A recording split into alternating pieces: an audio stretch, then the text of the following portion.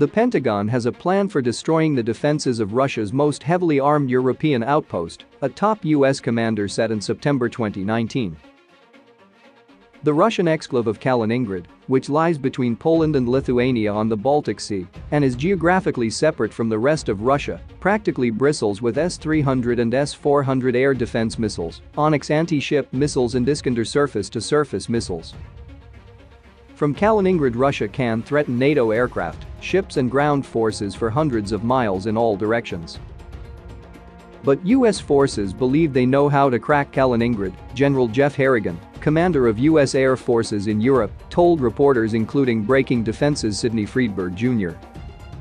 We train to that, Harrigan said. We think through those plans all the time, and, if that would ever come to fruition, we'd be ready to execute. It would be a multi-domain, very timely and effective capability that we would bring to ensure we have the access we need in that environment, Harrigan added. Unsurprisingly, the general didn't give details on what that plan of attack would be, Freedberg wrote. But the unique position of Kaliningrad, nestled between Poland and Lithuania, well away from the rest of Russia, makes it both an excellent advance base and a highly exposed target. Moscow in recent years has been beefing up Kaliningrad's defenses. Ground troops in the exclave are scheduled to receive Iskander-M ballistic missiles in 2019, completing the rearmament of the missile formations of the land forces, the Kremlin announced on January 1, 2019. Kaliningrad's missile brigade possesses more than 50 vehicles, including launchers, command and maintenance vehicles and other support vehicles, according to the Defense Ministry. The new Iskander-M rocket can carry a conventional or nuclear warhead as far as 300 miles away. Russia has invested considerable energy into developing anti-access, area denial capabilities and carefully positioning them to maximize their strategic effect, the Center for Strategic and International Studies in Washington, D.C. explained on its website. Russia's A2AD deployments span as far north as the Arctic down to Syria, with particular concentrations in Kaliningrad and around Crimea, a sort of thicket of overlapping and redundant A2AD systems, the center added, quoting one of its own reports. In the event of a crisis, such deployments would complicate NATO's ability to access key areas such as the Baltics or Poland. These relative weaknesses within NATO could increase the attractiveness to Russia of a fait accompli. As Harrigan stated, Kaliningrad and its garrison could be prime targets for what Pentagon planners call multi-domain operations.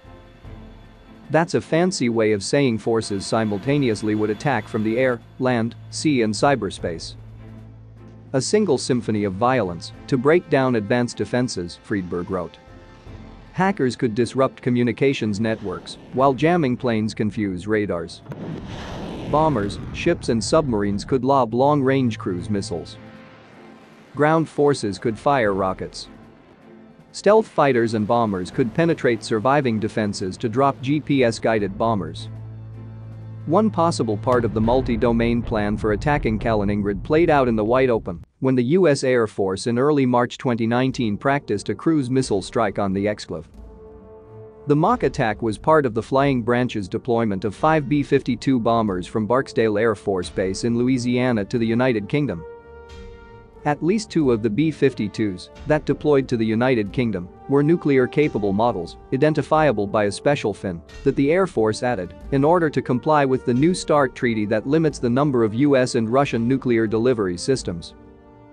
But it was one of the non-nuclear capable B-52s, serial number 600024, that initially flew a mock cruise missile attack on Kaliningrad on March 14, 2019, according to Steffan Watkins, an independent imagery analyst. Observers can track military flights via their transponders and radio traffic. USAF Boeing B-52H-600024 took off from Barksdale AFB on 2019 03-14 at 1.30 Zulu time, flew over Canada, and conducted a mock nuclear cruise missile strike on the Russian Federation, only turning around 60 nautical miles from Russian airspace at 11.10 Zulu, landing at RAF Fairford at 13.32 Zulu, Watkins tweeted. It's worth pointing out that a non-nuclear missile strike would match the profile of a nuclear one. It's highly unlikely that the Pentagon's first attempt to take down Kaliningrad's defenses would involve a nuke.